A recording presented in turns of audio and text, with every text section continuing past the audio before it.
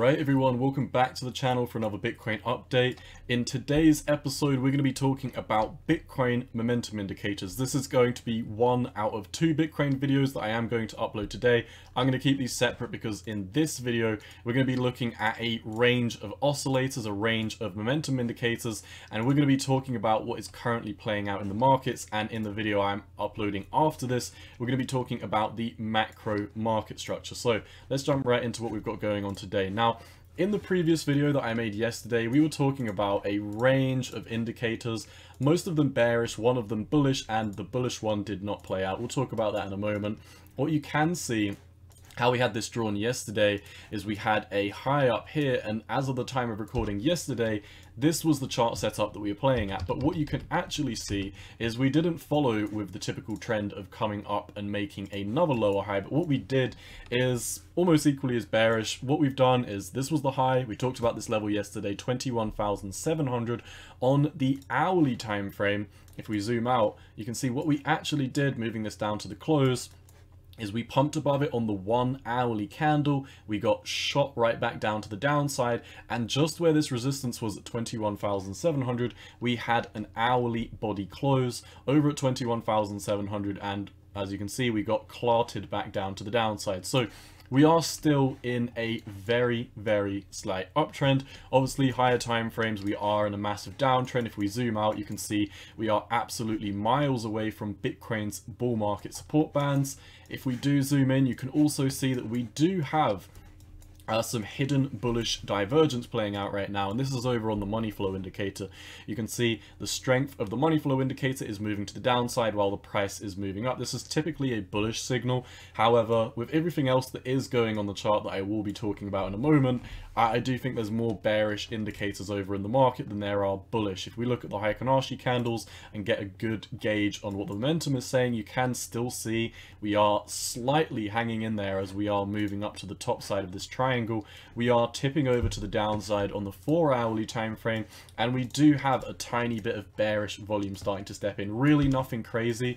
Uh, what I would say about this volume is though, that we are seeing some indicators that we're bullish, like we had the inverse head and shoulders over here, we broke above it, and it, in my opinion, because like I said, you know, I, I, do like to highlight these bullish signals even if I don't think they're going to play out. I like to be as unbiased as possible, you know my perspective, I don't think the bottom's in, I think we've got another leg to the downside before the bottom's in, but we did temporarily break to the upside of this inverse head and shoulders. We came back, you know, we had many four hourly back tests of it, and it seems like we're coming up and emming back down. Like I said, bearish volume coming in. I'll talk about the oscillators in a moment.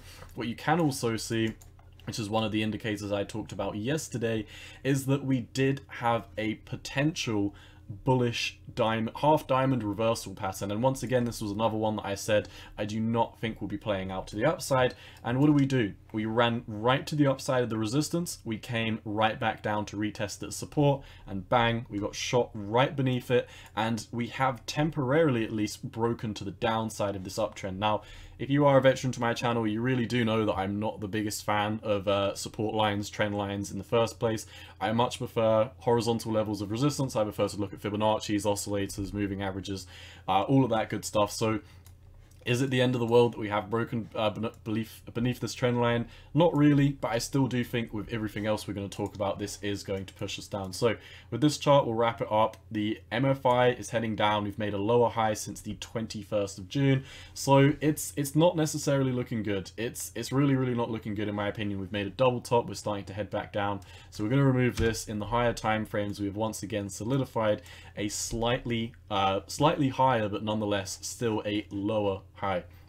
Let's move over. So if we talk about this chart in terms of the oscillators that we've got going on, uh, as you can see, the squeeze one on the four hourly time frame has started to push back down to the downside. The last time this happened, we did have a fairly decent sized capitulation. Bear in mind, we did manage to make higher, um, higher highs with this one in the lower time frames, of course.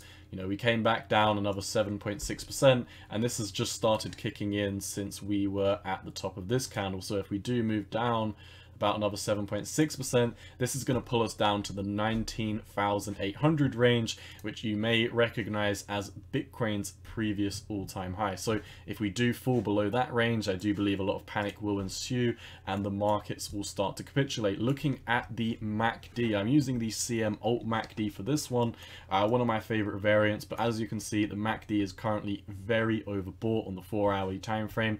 And when you do zoom out, you can see you've got a high up here, you've got a lower high, and now you've solidified another lower high in the MACD. Every time you do poke above this overbought region, you have a big, big flush to the downside. I mean, if I zoom out, you can see from here, 31,500 we moved all the way down until we had a poke back up to 31,600 another flush back down to the downside and now when we are topping out in this um, in, this bullet on in this bullish flip that we did have of the MACD, which is now flipping bearish, just like it did over here, and just like it did over here, you can very much see uh, it's it's not really a good sign once the MACD tops out overbought and then starts colliding to the downside. You know, I'm not, I'm definitely not saying that we're going to move down.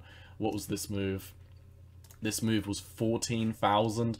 I'm not saying that we're going to have any type of move uh, as big as that. In fact, I would really be uh, really be assuming that we'd probably be coming down, maybe having one last bounce at the lows before coming down to between 16,500 and maybe 16 if we do get that bearish. That is kind of where uh, I at least perceive that the bottom would be. And now Quickly drawing our Fibonacci's before we do move over on this chart, you can still see in the very, very lower time frames, we are hanging in there, but you know, there is no volume confirming any of the breakouts that we were having. And when we do look at the inverse head and shoulders, when you do have this breakout, when you do have the back test and you start rolling down, this is the time where you want to see volume coming in to confirm the breakout. You want to see a strong back test and a push back up to new highs. And this just looks like, you know, bulls maybe got a tiny bit exuberant in the lower time frames. You basically had that double top. The double top is also seen over in the total crypto market cap. And it looks like this could have also been another potential inverse head and shoulders that could have been playing out and we're starting to lose momentum. So if we do start to capitulate on the total crypto market cap, really not too much, about another 16 billion to the downside, this would only represent about another 1.5% drop. If you do have that drop, you're going to start invalidating these bullish structures that we have, like the inverse head and shoulders on Bitcoin and the inverse head and shoulders on the total crypto market cap. Both of these, though, you can see lower time frames for Bitcoin. You have solidified a double top formation over on the slightly mid to higher time frames on the total crypto market cap, you have also solidified this double top formation. Total crypto market cap as well, looking at the momentum indicators, basically the same as Bitcoin. You have the MACD flipping bearish after being overbought, and you've got the squeeze mom flipping back to the downside after the bulls have had a very, very flat and weak trend to the upside. And we're seeing the same with the squeeze mom. The squeeze mom was slightly more exuberant because a lot of the altcoins went on half decent rallies, but now because of that, we're probably going to see a hefty leg to the downside. Squeeze, uh, Squeeze Mom heading down. The MACD was overbought as well, and now this is heading down. You can also see when we do zoom out, you've got, yeah, this is really not good. I mean, you've got a high up here, you've got a lower high on the MACD, another lower high, another lower high, and another lower high. But when these are coming to the downside, they're still pretty hefty. And in fact, you know, depending on where you draw them from, you can also say that we are slightly decreasing, but drawing from these, you can you can also see that we are increasing. So I would definitely say momentum on the total crypto market cap and Bitcoin is very, very bearish right now. If we look at the OBV, which is the on balance volume as well, you can just kind of see, I mean, on some of the charts we have made slight higher highs or we've tried to come up and double top. The OBV is completely different though. I mean, we, we just keep on pushing down and down and down and it looks like we're probably now going to come out and take out the lows uh, and probably have something like this where we come down to lower levels. That's what I see playing out on the on-balance volume. We talked about the MACD on the total crypto market cap is heading to the downside. Squeeze one as well. Very indicative that you have made that lower high and you're now pushing back to the downside. Just like when we were here at the bottom and we had a huge bearish move down on the 14th of June. We came back, reset momentum, had another bearish move on the 19th. This was a lower high. Because of that lower high, what did the total crypto market cap do? When we solidified this lower high, if I can pull it back up, we basically, this was right here, right at the bottom, and because of that we had a massive move to the upside because we were making that uh, lower high, or at least, you know, to the upside. I mean, technically this would be a higher low, but this is in terms of the bearish momentum back when we come up to the upside, I imagine this is going to have the same effect. Now the squeeze mom is running out of momentum, I feel like the next capitulation is going to be very, very hefty. And that's basically what I'm thinking for the uh, for the MACD as well. Just like I said, you know, we're basically just forming lower high after lower high after lower high after lower high and I really do think we're getting ready for that next major move to the downside. If Bitcoin was going to break even short-term bullish, it would need to poke its head back above 21,700. It would it would need to get above 21,900. If it does not do that, then you know once again nothing has changed, and it does seem like a lot of these indicators, especially this half diamond uh, potential half diamond reversal pattern, as I always say on my channel, a failed move equals a fast move in the opposite direction. What does that mean? Well, we just have to look at the chart and we can tell very easily what this means. You had a failed move in a one hourly candle, you came back for the back test. This is where you would have wanted to start to head back up if this was not a failed move. What did we do instead? We back tested it and now we are very, very quickly heading back down to the downside. So once we retested this, 21,480, we're currently residing about 21,200 right now. We've come down to 21,100 and I think it's probably about the time that we start pushing back down to the downside. So we talked about the MACD heading to the downside. We've talked about the squeeze mom heading to the downside. The bull market support bands are miles above your head. We also also had a flip of the 13 EMA. Coming back to this 13 EMA, if we lose 20,700 to 28 uh, to 20,800, we are going to absolutely landslide. Why is this? Well, look back at previous trends. What happens when you have a temporary fake out above the 13 EMA and a couple days later you come back for the back test? You break down, retest it, break down, retest it, break down, failed move above the 13 EMA, massive move back down to the downside. We did the same here. We emmed out into the 13 EMA. What did we do? Massive move to the downside. What are we doing right now? In the lower time frames, we've poked our head above it, we've come back for the back test, we've come up, basically made a double top structure, and we're kind of emming down below this right now. So once again, this is going to curve out to round about 20,800, 20,700. It depends how long it takes. You know, if we come back here in the next four hours, then 20,800. If we take another day or so, it might be more around the regions of 20,600. So the only other thing that I want to talk about is the RSI, and we'll also pull up the bull market support band. So while we're here, let's clear up this chart a bit. Oh, not the bull market support bands, rather, we're going to be talking about the EMA ribbons. On the 4 hourly time frame, we are once again coming into the EMA ribbons, and if we do break below the 4 hourly EMAs, you've also got right here 20,800. This is where the 13 EMA is going to be, so if you do capitulate below here and then take out the 13 uh, day EMA at 2,000, uh, also, sorry, 20,700, like like you can see here, we would be failing the inverse head and shoulders. We'd be having a failed move equals a fast move in the opposite direction. We also see this playing out as a failed move equals a fast move in the opposite direction. Uh, we would be breaking down from our micro uptrend over on this chart here. More or less, we've just been trending sideways. Like a lot of people have been getting out of bed for this. We've more or less just been trending sideways and forming, you know, high, lower high and it looks like now is the time uh, to end the crab market and to enter another bearish capitulation to the downside. So four hourly EMA ribbons were beneath them. Uh, daily EMA ribbons, you're miles away from them. You know, these are up here at 20, uh, 23,200. The RSI in the daily time frame has once again looked like it made another lower high. It looks like it's having a rounding top and wants to move back down for one last move to the upside. Four hourly as well you know this this is kind of like an elongated rounding top uh, this is probably more best defined as if we move this up a tiny bit this more so looks like a, a Bart Simpson pattern to me, where you've got, if we flatten this, You've got straight run to the upside. You've got a bunch of spiky tops up here where you just can't really seem to start pushing back above this previous level. And because of this, you've got a massive pole basically running up. You've got Bart Simpson's spiky hair.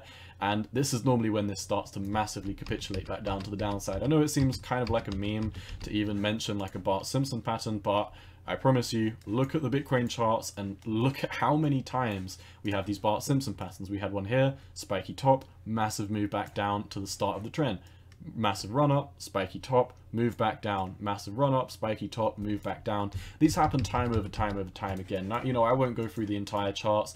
Uh, you know, I, I more than welcome you to go through the charts yourself and look at how often these Bart Simpson patterns play out uh, on the BTC chart. So the only other thing we have to talk about, we talked about the EMA ribbons, we talked about the money flow, the bull market support bands, they, they are miles above our head. The MACD, we've talked about this is flipping bearish on the total crypto market cap. The moving averages, the 13-day EMA coming in at 20,800 if we come down to it. And we also, no, we also talked about the squeeze mom.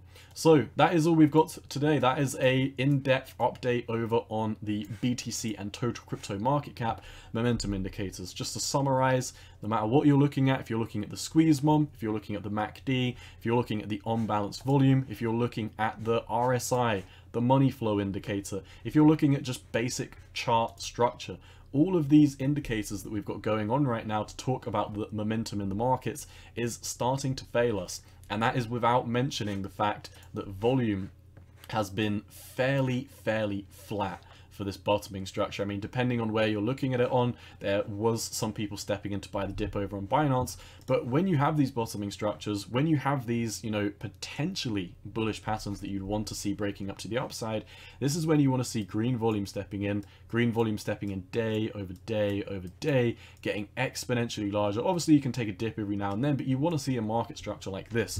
What we're seeing we saw a one day spike in volume followed up with bearish volume. And ever since then, you can see even this massive run up was a lower high. This was a lower high. This was a lower high. And the market structure is moving back down to the downside. There is no volume to support this breakout. And subsequently, no matter what chart you're looking at, no matter what moving averages you're looking at, no matter what momentum indicators you are looking at, it is all pointing towards the fact that this sideways crab market is ending and we're getting ready for that next leg to the downside. I'll talk more about my macro uh, bear market predictions and where and why specifically I think we'll be going down to the ranges between 16,500 and 14,000, but I will upload that after this video. So that being said, that is all I've got for you today. Uh, I also have noticed if we do look at the money flow indicator, you can see left shoulder, head, right shoulder. It looks like we are going to break down to the downside of this. This bullish divergence, or hidden bullish divergence rather, will be starting to fail very, very soon in my opinion. That's all I've got for you today. As always, Cowboy out. Peace.